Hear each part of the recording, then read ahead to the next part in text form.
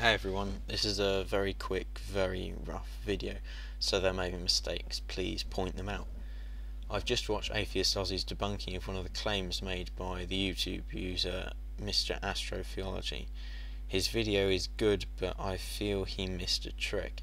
This is the clip I will be addressing from Mr. Astrotheology's video. Oh, and Mr. Astrotheology, I know your type. The use of this clip is covered by the fair use exemption of the Digital Millennium Copyright Act, specifically comment and criticism and educational purposes.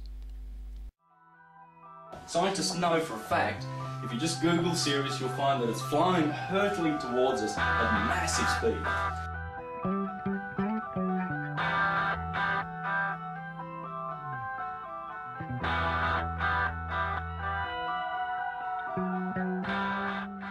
Now, when Sirius is moving away from us, like, like this, it's redshifted.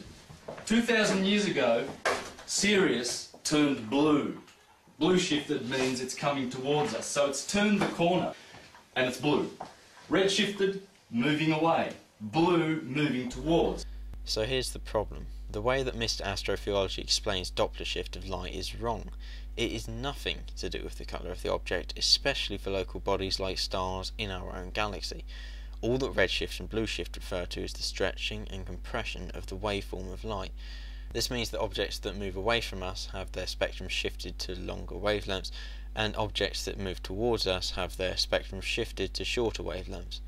Simply put, how he explains this is not how redshift and blueshift works. It's not a switch, and it's not a massive effect for local stars. But there's more. I think that the speeds required are pretty large for the shift of light proposed. Let's do some maths to find out. I'm not sure. I'm afraid we need to use math. White dwarfs are fairly dim, so let's just ignore Sirius B and just focus on Sirius A. Sirius A has a surface temperature of 9940 Kelvin. From Wien's law, this gives us a peak emission wavelength of 291 nanometers. This is already well beyond blue, it's in ultraviolet, so it cannot be blue shifted, making it more blue. Let's assume error, and that when this star was going away from us, it was not blue, i.e. it was redshifted. Let's take the spectral range for blue as stopping at 475 nanometers. Then there is a difference of 184 nanometers between the original peak and the shifted peak. Considering most shifts are at best a couple of nanometers for nearby objects, this is monumentally huge. What velocity, relative to us, is this? That can be calculated using the relativistic Doppler effect formula. This can be rearranged to give this. Now we can sub in the numbers. The original wavelength over the new wavelength squared gives 0.3753 which can be substituted in, giving a result of V equals C times 0.4542, or thereabouts. That's absolutely insanely massive.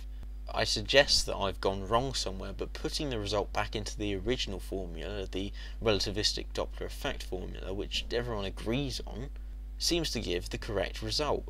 This is clearly ridiculous. My gut is that I've gone wrong somewhere, and this answer just can't be so but it checks out and Mr. Astrotheology provides no maths for this section of the video.